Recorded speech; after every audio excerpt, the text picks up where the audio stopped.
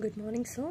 Uh, first of all, I'm very thankful for giving this wonderful opportunity to introduce about myself. I'm Srijana Dandu. I am from Hyderabad.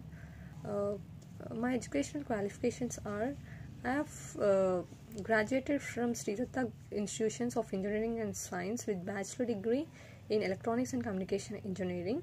I have done my intermediate in Sri Gayatri Junior College in Hyderabad and I have done my schooling in uh, Vignan Global Gen School in 2014 in Hyderabad.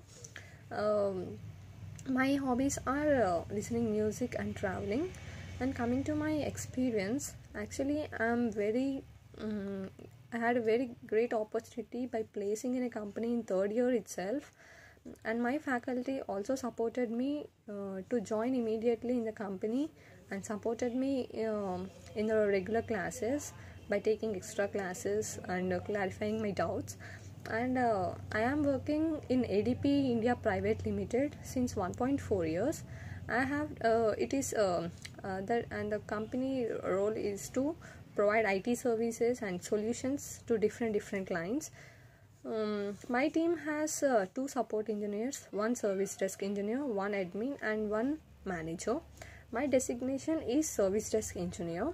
As service desk engineer i was a single point of contact between user and service team. I was providing service desk support to 170 plus corporate users. We had our own crm tool for incident service desk management.